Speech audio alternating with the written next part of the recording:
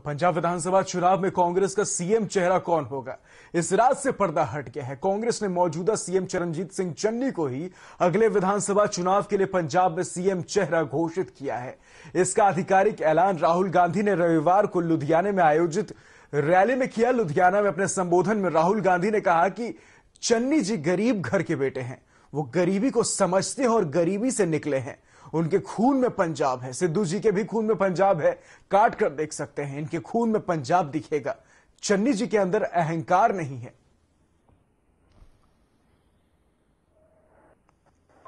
भाइयों और बहनों, पंजाब के युवाओं,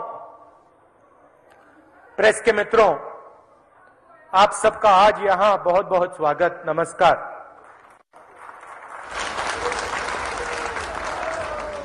पिछली मीटिंग में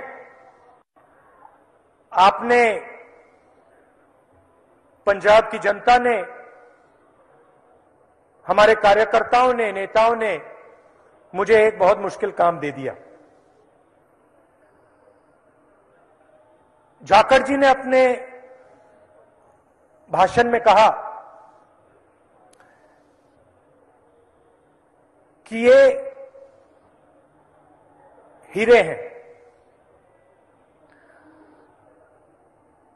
कांग्रेस पार्टी के जो नेता हैं, वो हीरे हैं। और बहुत गहरी बात की है इन्होंने। 2004 से अब मैं राजनीति में हूँ।